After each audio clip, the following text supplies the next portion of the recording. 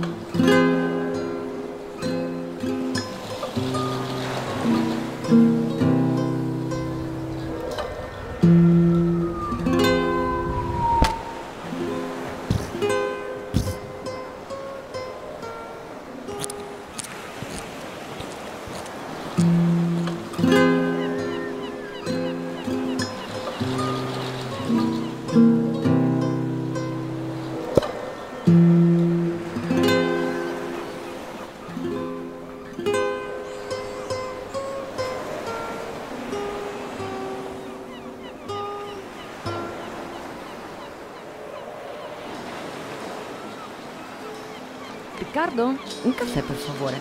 Corto, guarda come lo sai fare tu, non lo sa fare proprio nessuno. Altro che il tuo collega lì, come si chiama? Coso? Gianfranco. Hai visto che sguardi lanciava l'altro giorno alla signora con l'ombrellone vicino al mio? Quella sta qui in vacanza da sola, ma a casa, a Napoli. C'ha un marito che è rimasto a lavorare.